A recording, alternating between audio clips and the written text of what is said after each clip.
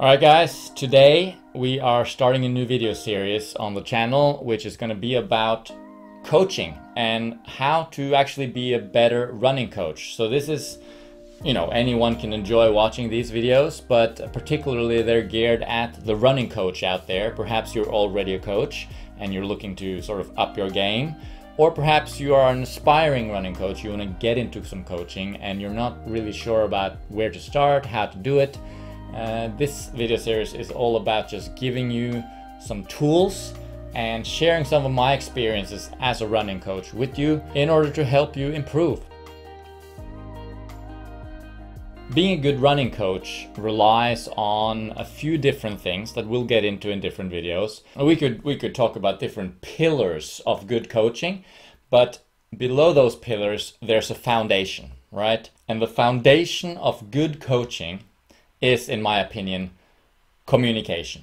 All right, communication is key if you want to be a good running coach. And there's a bit of a spectrum here where, you know, the optimal coaching situation is obviously going to be one where the coach is actually there with the athlete, right? Seeing the athlete on a daily basis, probably. That's like elite level Olympic coaching where the coach is just constantly following up the athlete, tweaking things from day to day. You know, that's that's like an absolute top-notch coaching situation. On in the other end of the spectrum, uh, we might have someone who communicates with their athlete, you know, once a month or so. And if you if you actually if you look back in time, I've heard that before the internet, etc., some coaches would actually do coaching by mail, by post, right? So they would be sending a training plan. They would create a training plan for their athletes, send it to their athlete. The athlete would complete the training, uh, make a training log, and then send that training log back to uh, the coach with some comments and some reports from training, etc. Then the coach would look at that, analyze it, take it into consideration when creating the next plan. And of course, today with internet, we are very lucky to have uh, ease of communication. We can do video chat, we can make videos like this, chat, messaging, we can be on the phone. You know, there's endless possibilities. Uh, even if we can't meet in person, we can still communicate very well. And that's really important because if you think about it, there's a lot of training plans out there on the internet. It's, it's fairly easy to find a generic plan for a half marathon, for example. And those can be great, for sure. Better than nothing, usually. Uh, but there's something to be said about actually having a coach following up your training and customizing the plan to fit you. And that's where communication comes in. So I would say that the more you as a coach know about your athlete, the better it is, right? So the idea is that the athlete needs to give you feedback regularly as to how things are feeling, how tired are they, how are they handling the mileage, uh, is there any pains or injuries, did they like the workout you did last week? Was it fun? Uh, did they feel like they were able to do it well? Now with GPS watches, etc., we can actually, as coaches, look uh, at their training. And what we have to do then as coaches is to not just be you know computers looking at the data and then prescribing a workout and not really thinking about the human being that's behind those numbers. And that's where communication comes in. That's very important. We need to be able as coaches to listen to our athlete. We need to give them space to share to um, communicate their feelings regarding our training because sometimes an athlete will feel like they need to do the training plan because you've written it right? And they feel bad if they're not completing the workout, etc.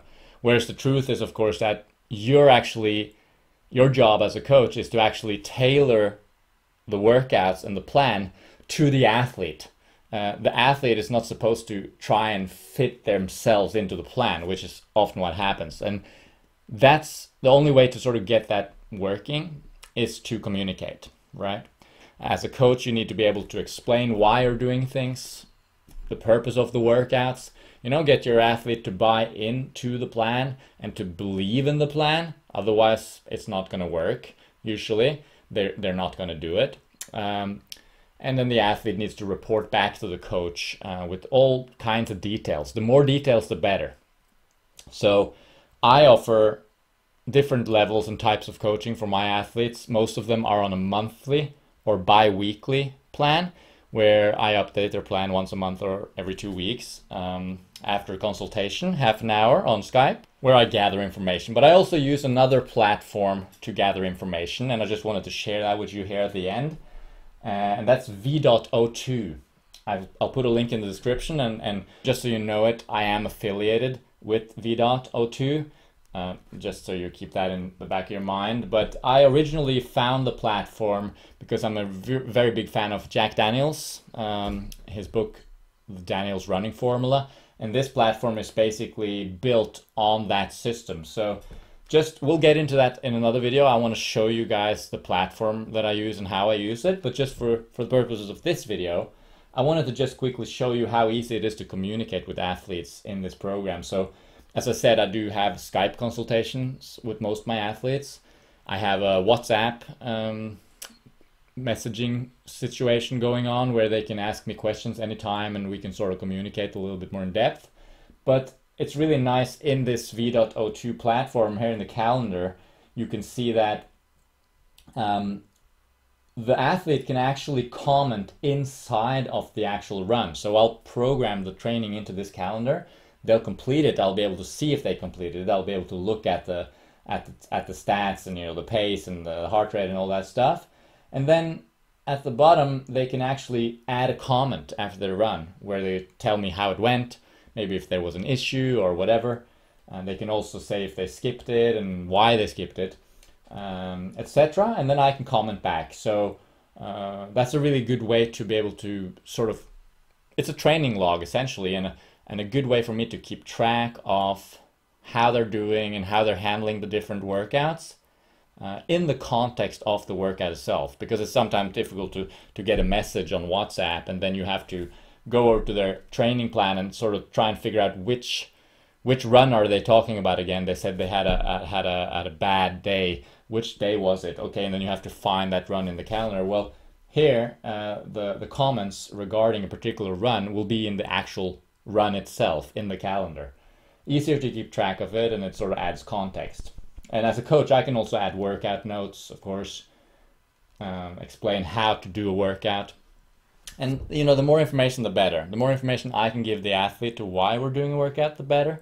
And the more information the athlete can give me as to how it's going and why they did what they did or didn't do what they didn't do or I just find that uh, platform really, really useful in that regard in terms of communicating with your athletes. So if you're interested in, in checking that out, as I said, the, the link is in the description. You can check out the platform. Uh, it's free to sign up as an athlete. So you can use that for your own training plan and, and play around with a little bit. And as a coach, you pay based on how many athletes you're coaching, how many clients you have, basically. So uh, go check it out. That's it for today. Uh, we'll make more videos in this series coming up, Coaching 101, or I don't know what I'll call the series, but thanks for now. Thanks for watching. Please subscribe uh, to stay tuned to the rest of the video series. And remember, as a coach, number one priority, communication. Alrighty, bye-bye.